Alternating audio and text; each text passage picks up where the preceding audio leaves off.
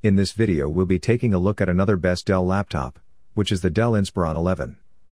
We will compare it against similar and newer laptops in terms of quality, performance, design, and value for the price.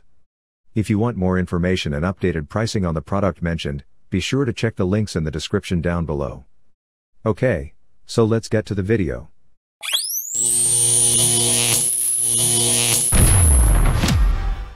The Dell Inspiron 11 Chromebook looks very basic but is capable of multitasking while providing the user with ease of use at a quite reasonable price.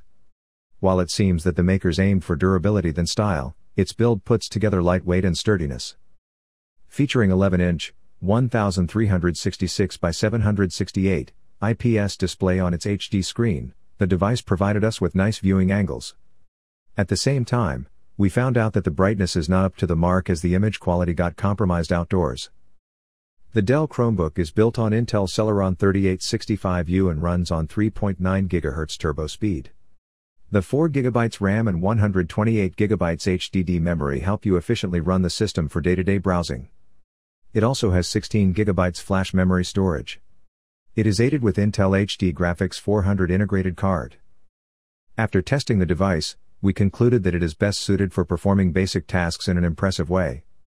Complicated programs might not work in the best way in the Dell Inspiron 11 Chromebook. The webcam is good enough for personal use, although the color reproduction can be a bit disturbing. The battery life of the device Auto says it lasted for 13 hours, implying that it might satisfy the user's needs for a day.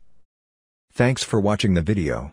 If you find this video helpful please help out the channel by giving this video a like or subscribe the channel and tell us which product caught your eye in the comments below.